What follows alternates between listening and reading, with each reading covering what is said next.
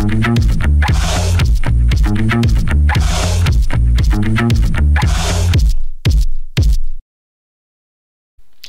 und guten Tag, hier ist Marius von Projekt 30D mit einer Rückschau auf die Kalenderwoche 17 und dem Ausblick für die Kalenderwoche 18. Bedeutend oder erstaunlich war schon der Larry Kudlow am Freitag. Bekanntlich wuchs das BIP der USA im ersten Quartal um 3,2 Prozent, was Herr Kudlow als Blowout-Number bezeichnete, und er sagte, dass sich die gegenwärtige Wirtschaft der USA in einem Wohlstandszyklus befände, der an Fahrt gewinnt und nicht an Fahrt verliert, und außerdem würde die Inflationsrate immer weiter und weiter sinken und ähm, ja, Herr Kudlow ist der Director of National Economic Council von Präsident Donald Trump und er sagte, wir laufen auf allen Zylindern, die Inflationsrate sinkt und die Federal Reserve muss sich das anschauen und er erwartet, dass es eine Zinssenkung gebe und außerdem QE. Das ist natürlich irgendwie schon starker Tobak. Die US-Wirtschaft brummt auf allen Zylindern, die Inflationsrate sinkt und er sagt, wir müssen mehr Geld in den Laden pumpen ähm, und die Zinsen senken. Schauen wir mal, was da kommt. Gut, der DAX hat am Freitag bei 12.315 geschlossen. Ähm, das ist gegenüber der oder dem Vorwochenschluss ein Zuwachs von 92 Punkten. Die Differenz seit Monatsanfang 789 Punkte plus oder 6,85 Prozent und das bedeutet seit Jahresbeginn ein Zuwachs von 16,6 Prozent. Das Ganze natürlich, na natürlich ist es nicht, aber fast natürlich, weiterhin unter äh, geringen Umsätzen, aber ja, wie wir uns das schon seit vielen, vielen Wochen anschauen, ähm, stört das offensichtlich noch niemanden. Ähm, wir müssen mal schauen, wie weit das trägt. Der kommende Monat, also zumindest bis Monatsmitte, dürfte interessant werden. Ich will jetzt nicht diese alte Weisheit Sell in May and Go Away zu sehr strapazieren, aber es gibt zumindest einige Warnzeichen, und zwar aus äh, DAX-Sicht als auch aus US-Sicht. Gucken wir uns zunächst mal den DAX an im 5-Minuten-Chart. Das war im Grunde so die letzte Woche, ähm, nachdem DAX diese fünf Marken geschmeidig unter geringsten Umsätzen durchlaufen hat, hat er dann am Mittwoch um gegen Mittag war das die Mob-Marke 12.330 angelaufen. Das ist bekanntlich das 31.8 Retracement der Strecke Allzeithoch zum Dezember-Tief und mithin immer ähm, ja, genannt eben auch der Bären letzte Ausfahrt, die also da tätig werden müssen. Und äh, wie wir sehen, macht der DAX so ein bisschen den Zampano und nach diesem ersten kleinen Versuch, der abgewirkt, abgewirkt wurde, ging es hier zunächst nicht weiter. Ich habe ja im letzten Ausblick schon gesagt, diese Zone hier ist für mich eigentlich die entscheidende. Sie besteht eben aus dem 81er Retracement der großen Strecke. Wir haben hier, das ist aus der Analogie 2008, 2018, das alte Allzeithoch aus 2015, die 12391, dürfte meiner Meinung nach eine Rolle spielen. Und äh, wir haben hier vier Punkte höher eben auch das Ziel des Broadening Tops aus dem H4. Das wollte ich letzt, im letzten Ausblick zeigen, habe es vergessen, ich mache es gleich. Und auf der Oberseite haben wir dann noch das Doppeltop vom 21. und 27. September 2018 bei 12.458. Das gucken wir uns etwas später noch im Tageschart an. Jetzt nur mal, damit ich das Vergessene aufholen kann, schauen wir uns kurz noch das Broadening Top im H4 an. Das habe ich vor einigen Wochen gezeigt. Da waren wir irgendwo hier unten, glaube ich. Ähm, ja, ist eben 1, 2, 3, 4, 5. Bei 11.961 aktivierte sich das Ganze und daraus ergab sich ein erstes Ziel bei 12.126. Das ist mittlerweile erreicht und überschritten und die größte innere Höhe dieses Broadening Tops beträgt 660 Punkte und das große Ziel wird dadurch gemessen, dass man diese 660 Punkte mit 66% multipliziert. Und da kommen wir zum Ziel 12.395 und das liegt eben nur vier Punkte oberhalb des Allzeitshoch aus 2015, was ich soeben gezeigt habe. Ja, und hier sehen wir eben auch die 12.330, hier oben das Allzeithoch, hier unten das Dezembertief und insofern kommt also, sofern das hier überschritten würde, also sofern wir über 12.395 laufen, ähm, haben wir nicht mehr so viel an Widerständen, zeige ich auch gleich im Tageschart. Die nächste größere Marke aus Fibonacci-Sicht, aus dieser großen Strecke hier, ähm, wäre dann eben die 12.814. Der Stundenchart H4 zeigt seit tief im Dezember 10.279 einen blitzsauberen Kanal, dessen Oberseite jetzt am Mittwoch war das, glaube ich, jawohl, angelaufen wurde. Und wir müssen jetzt mal schauen, wie sich das weiterentwickelt. Das kann sich natürlich ähm, hier an der Oberseite weiter entlang schlängeln. Es kann auch, wie es hier passiert ist, einen kleinen Dämpfer geben, das waren so um und bei 200 Punkte und nochmal einen weiteren mit Anlauf an die Oberseite und dann erst eine Korrektur. Ähm, natürlich ist es auch möglich, dass wenn diese eben gezeigte 128 äh, Punkte hohe Widerstandszone durchschlagen wird, dass es tatsächlich einen nochmal beschleunigenden Ausbruch aus diesem Kanal gibt. Und als dritte Möglichkeit ähm, besteht natürlich auch die Variante, dass wir ausgehend von dem am Mittwoch gemachten Hoch 12.350, also 20 Punkte über die Mob-Marke 61.8 Retracement gelaufen ist, dass wir von hier aus runterlaufen und die kleinstmögliche Korrektur machen. Das wäre das 23er Retracement im Bereich 11.860 und ähm, auch das ist nicht ausgeschlossen. Das würde hier zum Beispiel, das wäre der 13.05. hervorragend passen und, schauen wir uns im Tageschart noch an, hier unten liegt ja noch ein offenes Gap. Also eigentlich wäre es nicht verkehrt, wenn DAX sich mal bequemen würde, die kleinstmögliche Korrektur seit Dezember zu machen und dann vielleicht noch einen kleinen Unterschießer das Gap zumacht und dann erneut nach oben läuft. Ähm, wenn wir diesen Kanal jetzt mal äh, etwas abstrahieren. Wir beobachten ja seit einiger Zeit im Stundenchart H2 und im Stundenchart H3 zwei Wolfe Waves. Ich will auf eine nochmal eingehen. Und um die zu zeigen, muss ich mal hier an die 1 gehen. Das ist ja schon beschriftet. Hier ist der Punkt 3. Und die mache ich jetzt mal etwas deutlicher. Und äh, ich nehme mal den Kanal zur Seite und ziehe jetzt von hier eine weitere Linie. Und dann haben wir eine ja, wunderschöne Wolfe Wave, mögliche Wolfe Wave. 1, 2, 3, 4, 5, Ausbruch, Rückversicherung an dieser oberen Keiltrendlinie und ein Überschießer an der 5.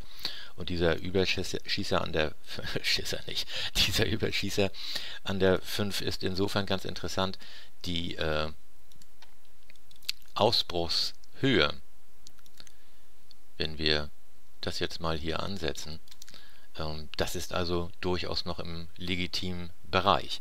Würde DAX sich jetzt deutlich nach oben verabschieden, also die Mob-Zone, äh, die 128 Punkte hohe äh, nach oben verlassen, ähm, ja, dann muss man eben schauen, diese Wolfo Wave endet technisch erst Mitte Mai und ähm, ja, bis dahin ist eben noch viel Zeit.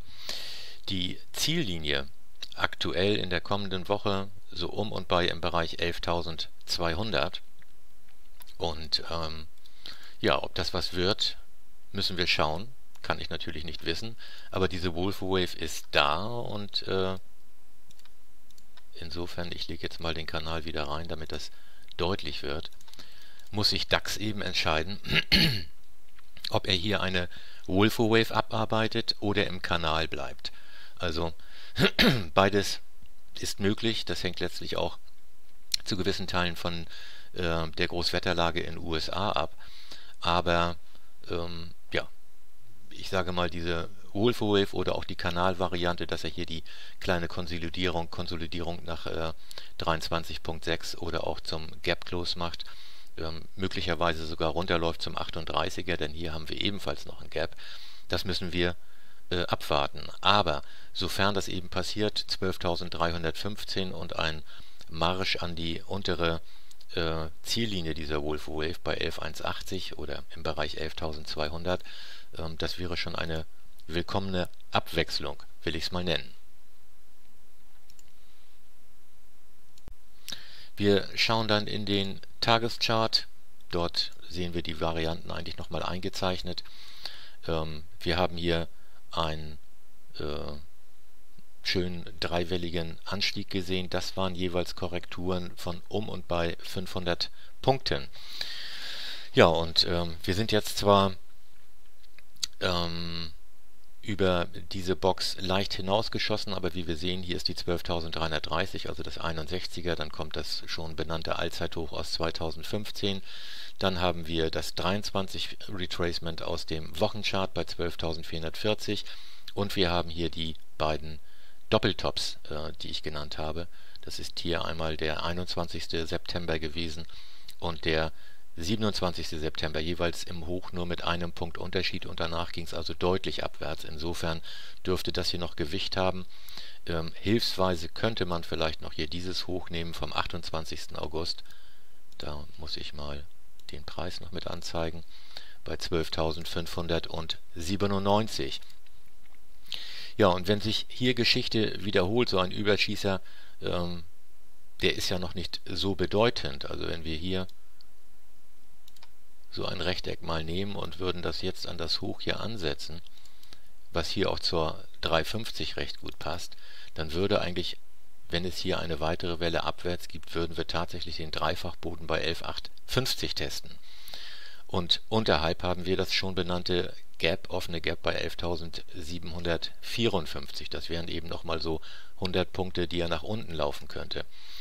Ähm, ja, in, insofern entweder eine Abwärtsbewegung oder es gibt tatsächlich den Ausbruch aus dieser Widerstandszone, die 128 Punkte hoch ist.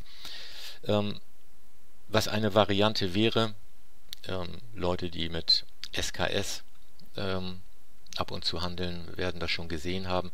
Wir haben hier dieser Dreifachboden, das ist eine mögliche äh, Nackenlinie einer SKS. Wir haben hier eine kleine Schulter, der Kurs steigt an und sofern wir eben nicht hier nach oben ausbrechen, ist es durchaus vorstellbar, dass wenn wir nochmal so eine 500-Punkte-Korrektur machen, hier unten auf den Dreifachboden aufsetzen, einen weiteren Versuch nach oben zu kommen in Höhe dieser kleinen Schulter oder auch ein Stück höher und dann nochmal herunterlaufen und eine deutlich tiefere Korrektur eingeleitet wird.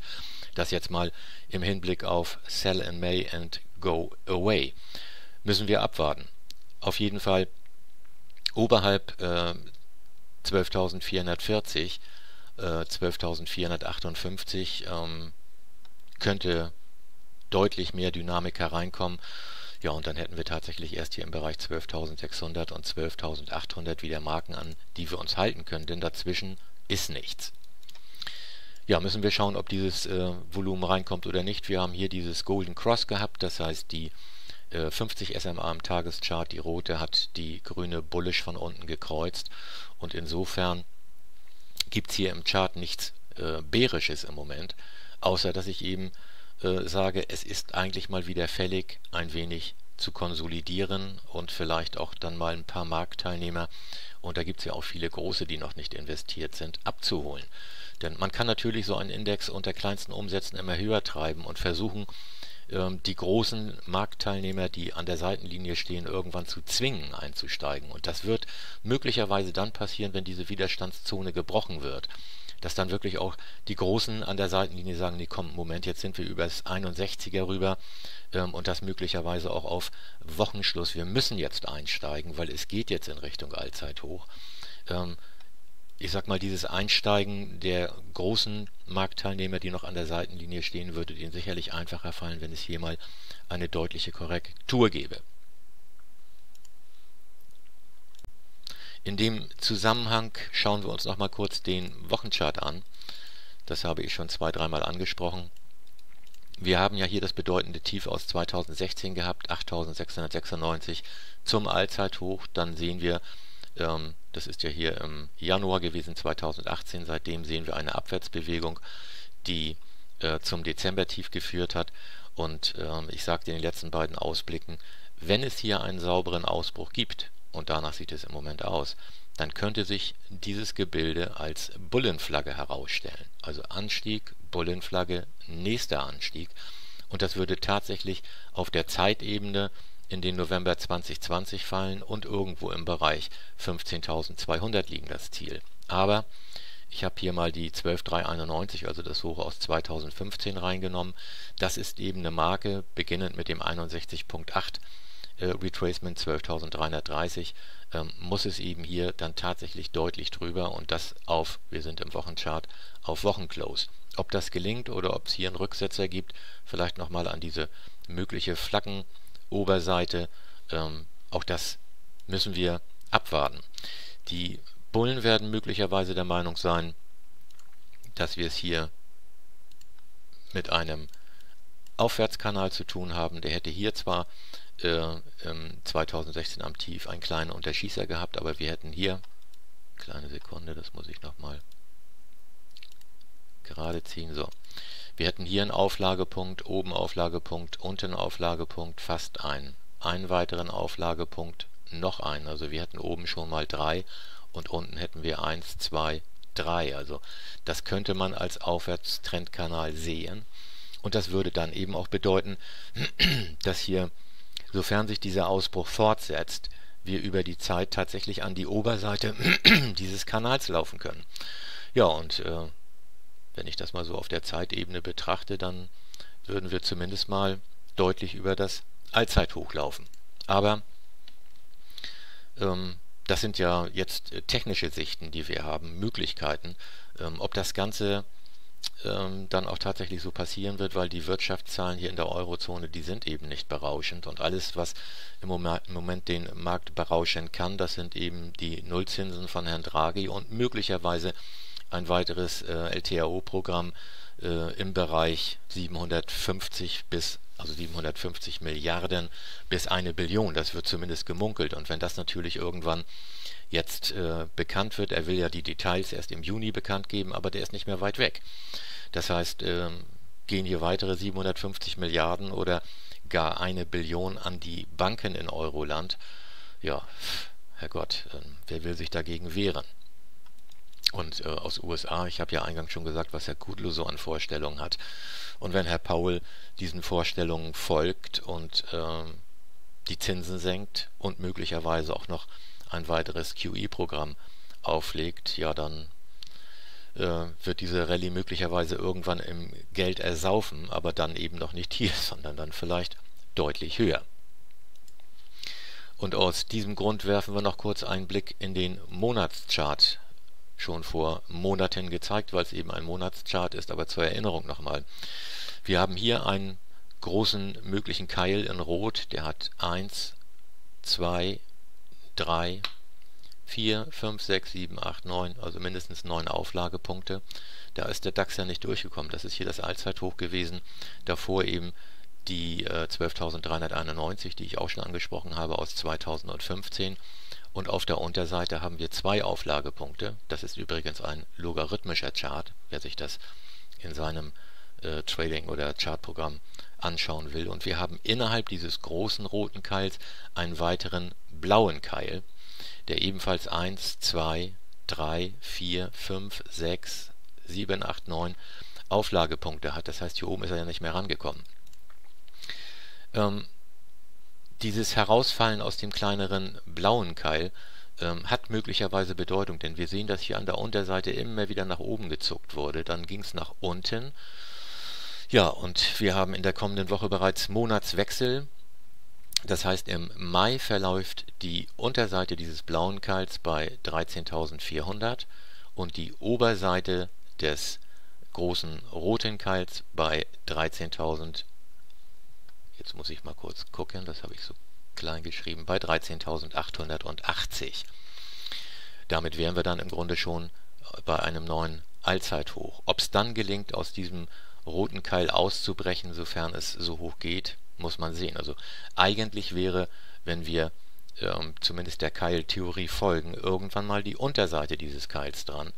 Aber die liegt eben deutlich tiefer, also die würde sich im Mai irgendwo im Bereich 8440 bewegen und dann kommen wir tatsächlich dieser Dekadenlinie hier nahe. Und äh, ja, sehe ich im Moment nicht, dann muss schon wirklich irgendetwas ganz Gewichtiges passieren. Kommen wir also nochmal kurz auf den M5-Chart zurück.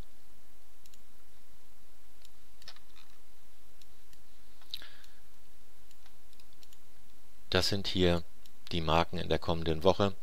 12.330, 12.391, 12.458.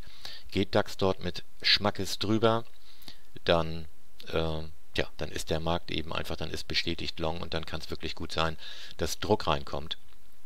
Wird er irgendwo innerhalb dieser Zone oder auch schon hier unten nach unten abgewiesen, dann bitte an den Chart denken, den ich äh, hier gezeigt habe, den Tageschart, dann können wir durchaus mal so eine 500-Punkte-Korrektur einlegen, wie wir das zuvor auch schon getan haben. Gut, jetzt haben wir über Keile gesprochen. Da möchte ich mal kurz etwas äh, von oder aus Twitter zeigen.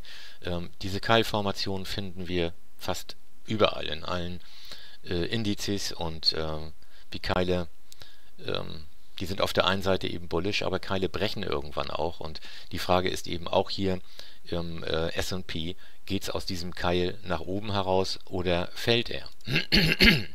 da hat der Northman Trader zum Beispiel hier im Bereich äh, Nasdaq, seit einigen Wochen macht er das schon, diesen Keil aufgezeigt und die Folgen und diesen Keil.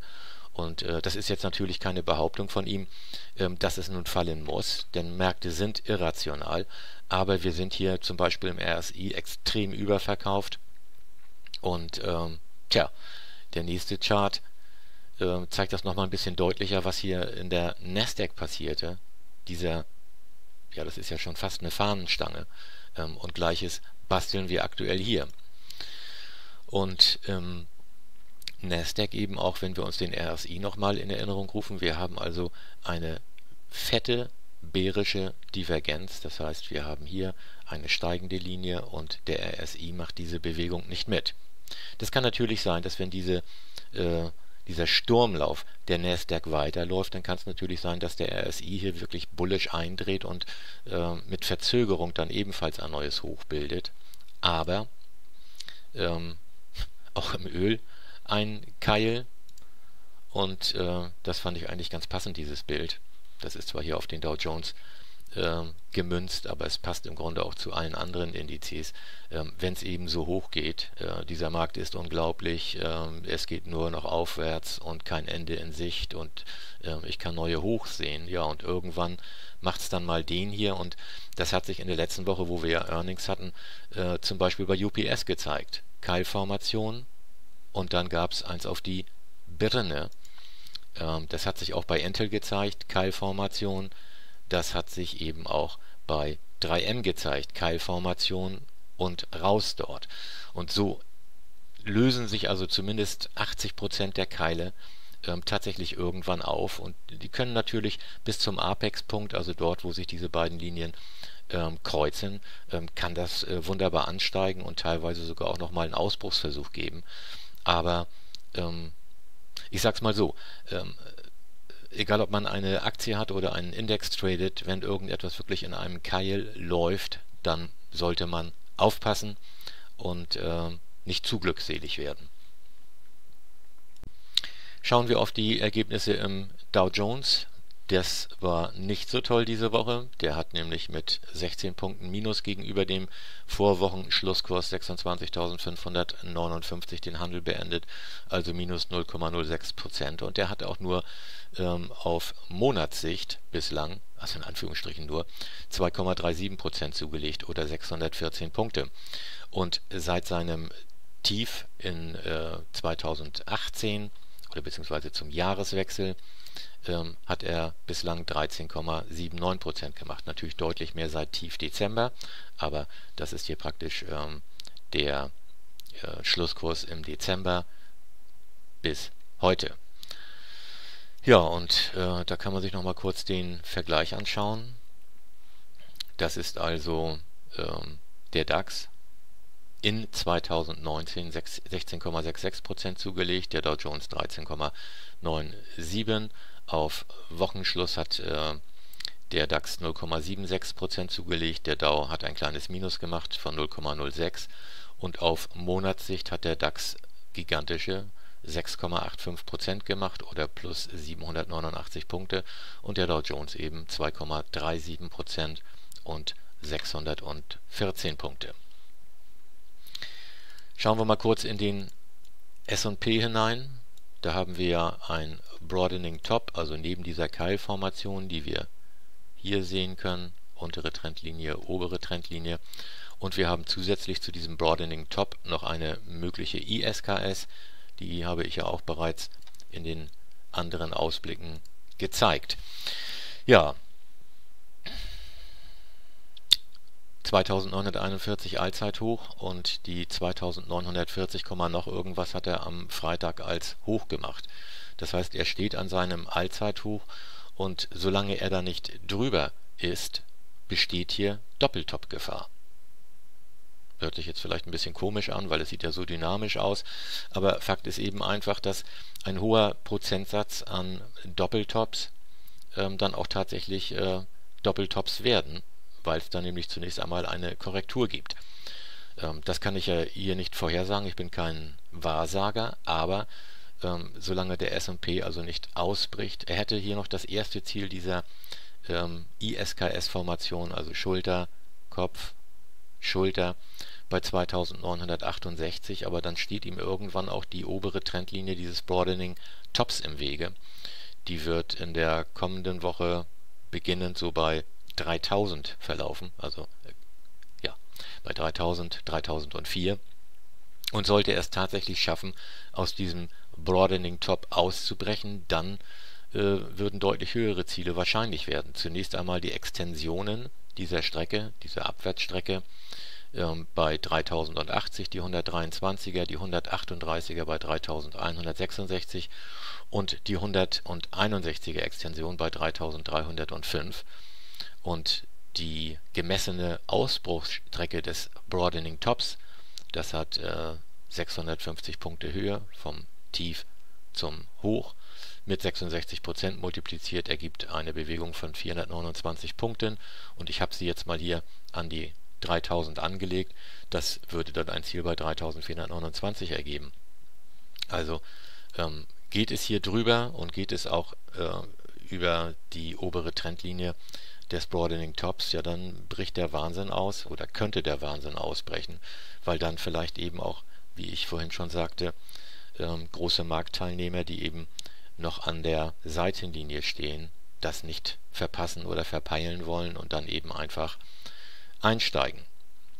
Ebenso gut ist es natürlich möglich, ähm, ich vermute einfach mal, dass diese Herren auch miteinander sprechen, ähm, möglich ist natürlich auch zu irgendeinem beliebigen Zeitpunkt tatsächlich eine Short-Attacke äh, von gewichtigen Marktteilnehmern, die einfach mal draufhauen und dann vielleicht ein kleines Kräftemessen mit den Bullen sprich auch mit den Zentralbanken machen, ähm, um eben einfach äh, hier vielleicht auch eine kleine Stop-Loss-Welle auszulösen, denn äh, die Leute, die also früh eingestiegen sind, äh, die dürften mittlerweile satt im Plus sein und entsprechend sensibel auf Kursverluste reagieren. Der Dow Jones im Tageschart ist noch nicht an seinem Allzeithoch, das liegt ja bei 26.952, aber er hat diese Mob-Zone ähm, durchbrochen. Das waren ja hier, habe ich in der letzten Woche drüber gesprochen, lustige Kerzen. Ähm, er ist dann hier nochmal ein bisschen angestiegen. Dann gab es hier am Donnerstag war das genau, gab es nochmal einen Rücksetzer, fast bis auf äh, diese Moblinie 26277, also das Hoch aus November. Aber auch hier haben wir einen Golden Cross. Die rote 50 SMA hat hier sauber gestürzt, sauber gestürzt und ähm, insofern, wenn es nochmal einen Rücksetzer gibt, dann wird es ganz spannend sein, ob die 50 SMA, die wird am Montag im Bereich 26.024 verlaufen, ob die hält und ansonsten ist es eben diese Zone, die entscheidend ist. Aber das am Donnerstag ist zunächst einmal ein Statement gewesen, kräftiges Gap Down, aber nicht die 26.277 verletzt. Am Freitag dann ähm, der Versuch nach oben zu kommen. Wir haben allerdings hier noch ein offenes Gap, das muss geschlossen werden und sofern es geschlossen wird, das sieht man hier, gibt es keine Marken mehr bis zum Allzeithoch.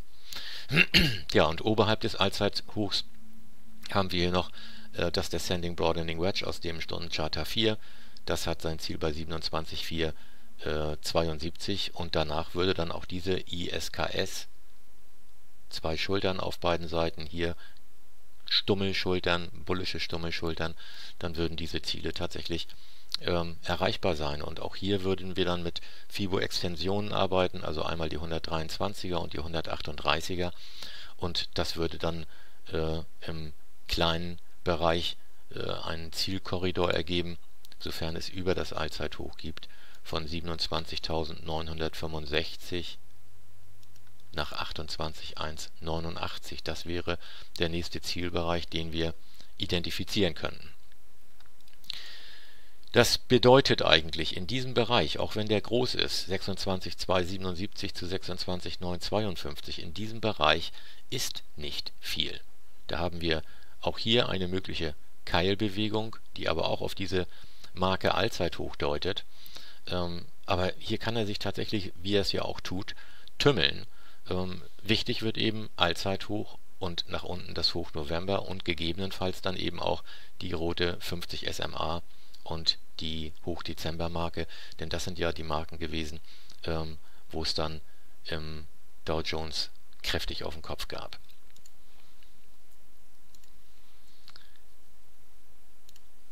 Nasdaq, auch da haben wir es mit einem Keil zu tun. Hier haben wir das Descending Broadening Wedge 1, 2, 3, 4, 5. Ein sauberer Ausbruch mit dieser Kerze. Am 29. Januar sogar nochmal ein schöner äh, Rückversicherer an der oberen Trendlinie. Und seitdem geht es eben nach oben. Das alte Allzeithoch 7700 ist überschritten und das Ziel dieses Descending Broadening Wedges wartet bei 8164. Das sind 83% der größten inneren Höhe ähm, die Zone aus Hochnovember und Hochdezember, ähm, wo der Dow Jones ja irgendwo so in diesem Bereich noch herum arbeitet, die ist lange unterschritten und insofern ist jetzt die einzige Mob-Marke, die man im, in der Nasdaq nehmen kann, eben die 7700. Und äh, ja, wird die 7700 nicht mehr unterschritten, was ganz interessant werden könnte, denn wir haben eben eine äh, Keilformation hier, das heißt in dem Moment, wo die 7700 äh, unterschritten wird, wird auch der Keil nach unten verlassen. Und bei so einer Keilgeschichte, wenn wir da ähm, wenn wir da mal die größte innere Höhe des Keils nehmen, dann würden wir mit größter Wahrscheinlichkeit diesen Bereich backtesten. Und ansonsten geht es eben Richtung Extensionen und äh, Zielen dieses Broadening Wedges. Schauen wir uns noch äh, ein paar Aktien an. Zunächst einmal die Wirecard. Ja, die hat einen Inside Day gebastelt. Das heißt, die Hoch- und Tiefmarken vom Donnerstag werden dadurch zu Triggermarken. Ähm, das dürfte so im Bereich 140 zu 125 liegen. Das muss man warten, wie sich das ähm, auflöst. Diese langlaufende Trendlinie hier wird ähm, die nächste begrenzende Marke sein, sofern es gelingt, hier über das 61er auszubrechen. Das ist ja hier am Mittwoch und am Donnerstag versucht worden, hat aber nicht geklappt. Und äh, der Ausbruchsversuch nach unten am 50er ebenfalls nicht. Das heißt, die Kerzenkörper befinden sich alle zwischen dem 50er und dem 61er Retracement und das ist eben auch das Spielfeld. Das sind beides wichtige Fibo-Marken. Ähm, Tja, oberhalb äh, der, des 61.8 Retracements bei 138,34 wird eben diese äh, langlaufende Trendlinie Ziel, die liegt am Montag bei 145, danach dann die fallende Linie vom äh, Top 199 und natürlich das 76er Retracement. Ja, und nach unten ähm, muss man mal schauen. Äh, also unter das 38er sollte es jetzt möglichst nicht mehr laufen. Und wenn wir kurz nochmal in die Woche reinschauen, da muss ich allerdings mal auf logarithmisch umschalten. Da haben wir eine wunderbare Trendlinie, die gehalten hat, die auch noch nicht wieder getestet wurde. Aber hier müssen wir noch einmal kurz die Fibus umdrehen.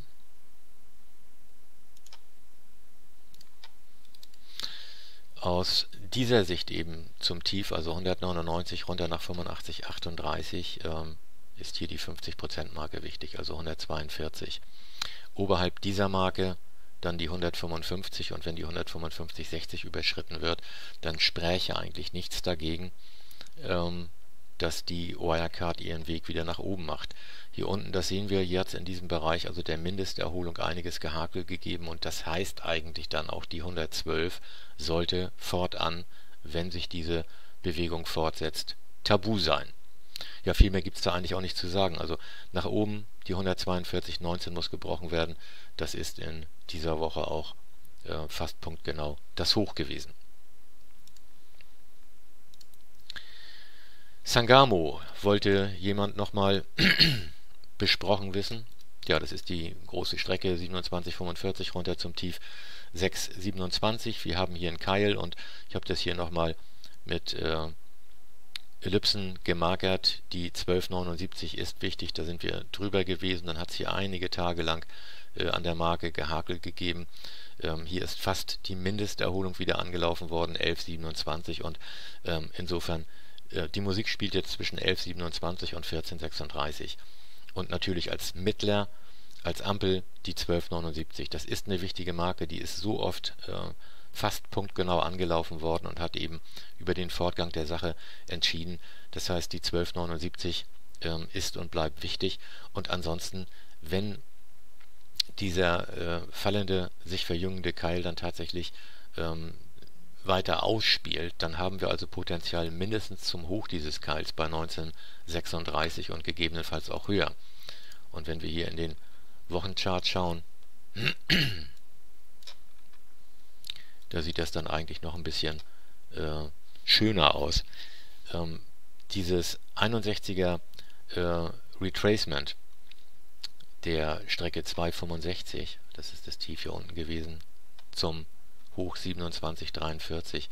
Ähm, wenn wir hier drüber kommen, also die 1211, das passt ja auch ganz gut äh, zu der 1276 aus dem äh, Tageschart, wenn wir hier drüber kommen, ähm, dann würde ich das hier zumindest aus Wochensicht als eine Art Bullenflagge betrachten wollen.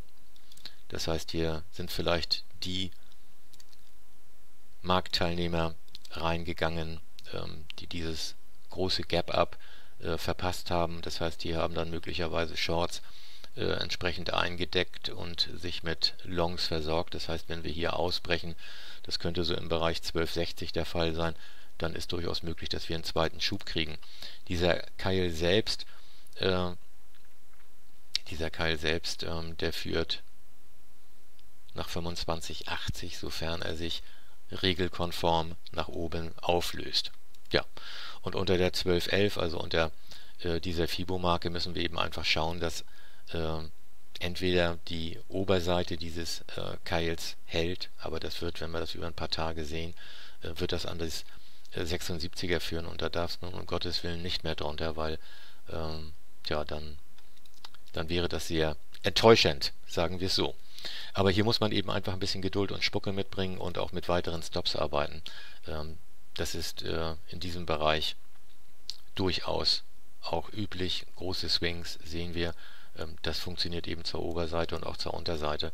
Aber die letzten ähm, Testresultate äh, die wir bei Sangamo gesehen haben, die waren ja zumindest ähm, erfreulich, so will ich es mal nennen.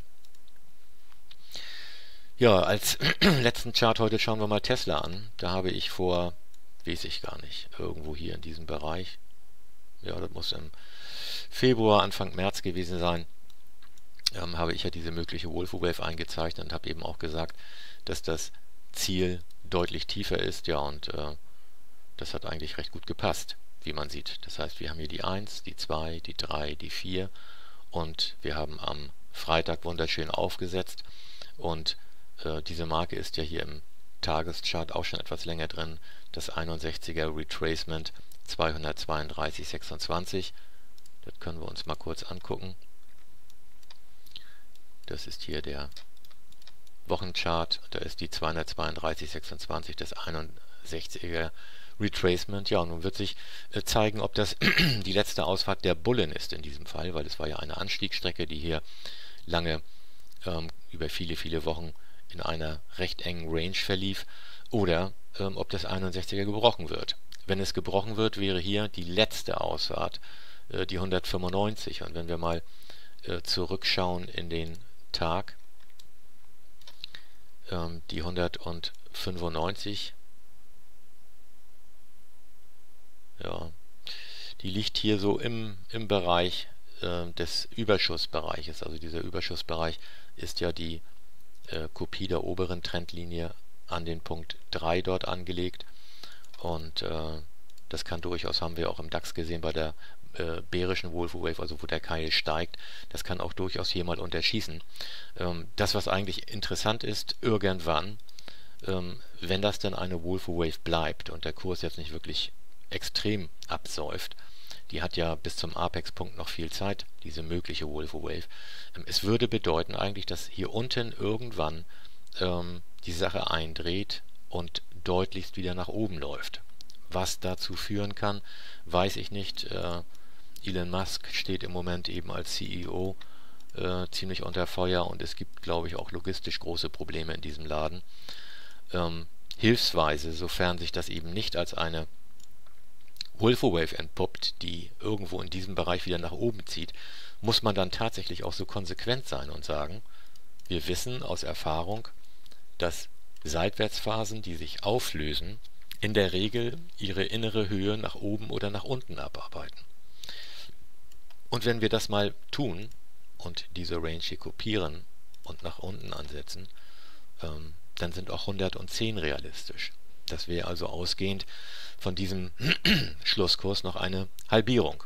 Natürlich nicht innerhalb von zwei, drei Tagen, aber das könnte ein mögliches Szenario sein, auf das man als Investor vorbereitet sein muss. Ansonsten haben wir ja hilfsweise hier noch ein Tief im Bereich 178. Aber ja, schauen wir mal. Das Ganze wird mit, Sicher mit Sicherheit newsgetrieben sein. Ähm, und für den Montag, Dienstag kommender Woche auf die 232 achten. Das 61er Retracement, das heißt ein Tagesschluss unterhalb dieser Marke, ist ein klares Warnzeichen und ähm, nicht dann ein Kauf, sondern dann ist erstmal abwarten und möglicherweise auch absichern angesagt. Ja, sonst gibt es viel nicht zu sagen. Ach doch, eine Sache wollte ich noch zeigen. Wir haben ab Montag bei uns ein neues Widget im Blog, sogenannte RR-Tracks, RR, meine Herren, RR-Tracks. Ähm, die sind programmiert worden, wir passen das noch ein bisschen an.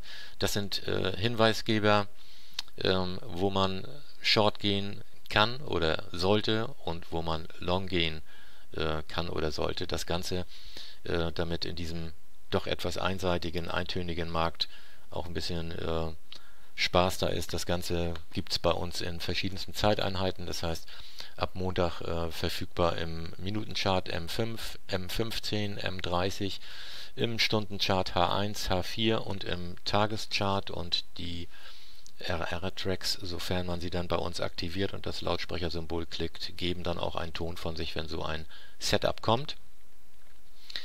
Ja, und äh, ansonsten, ich würde mich freuen, wenn einige von euch, die Interesse daran haben, täglich einen Ausblick zu lesen, den Laserstream buchen, der kostet 14,99 Euro im Monat, also 50 Cent am Tag. Und wer mit uns gemeinsam äh, traden und lernen möchte, der kommt in den Premium-Blog, der kostet 39 Euro im Monat. Und ja, wer diese Ausblicke nicht verpassen will, der ähm, aktiviert äh, oder bucht uns auf Facebook oder auch auf YouTube und dann hört er regelmäßig von mir oder auch von uns. Gut, ich wünsche euch noch ein schönes Wochenende. Bis zum nächsten Mal und viel Spaß, viel Glück und auf die Keile achten. Tschüss, tschüss.